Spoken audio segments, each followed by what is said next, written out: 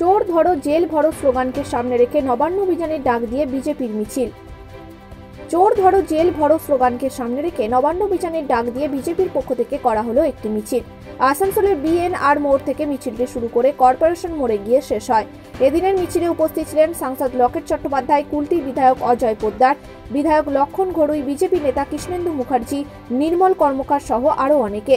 এদিন বিজেপির সাংসদ লকেট চট্টোপাধ্যায় অনুব্রত মণ্ডলের বেকসুর খালাস প্রসঙ্গে বলেন এত কিছু সম্পত্তি বেরোনোর পরেও মুখ্যমন্ত্রী তার মাথায় হাত রাখছেন।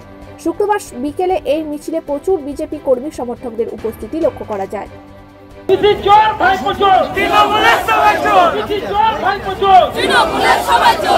ধরো জেল ভরো চোর ধরো জেল ভরো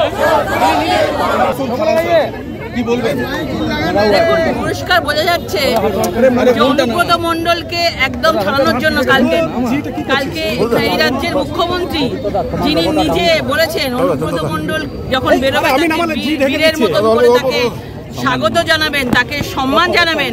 বোঝাই যাচ্ছে যে বেকসুর খালাস করবার কথা উনি আগে থেকেই জানতেন এবং এত কিছু করার পরেও ওনাকে বেকসুর খালাস করে মানুষের সামনে দেখাতে চাইছে উনি হচ্ছে ধোয়া তুলসী পাতা। এত হাজার হাজার কোটি কোটি সম্পত্তি এখনও টু বি কন্টিনিউ এখনও শেষ হয়নি। সব জায়গায় বাড়ি টাড়ি আরও কত কিছু পাওয়া যাচ্ছে রাইস মিল পাওয়া যাচ্ছে অনেক কিছু পাওয়া যাচ্ছে। সুতরাং এত চুরি করার পরেও যে মুখ্যমন্ত্রী তার মাথায় হাত রাখছে তার মানেই মনে মনে রাখা হবে যে চোর- চোরেদেরকে নেতা বানিয়েছে। আর যারা কর্মীরা ছিল তারা তাদেরকে বোকা বানিয়েছে। মন্ত্রীদের বাড়িতে সিবিআই হানা হচ্ছে কি বলবেন? হ্যাঁ এরকম সব মন্ত্রীরা থেকে শুরু করে এখানে পুরোপুরি ভাবে মানে জর্জরিত হয়ে গেছে।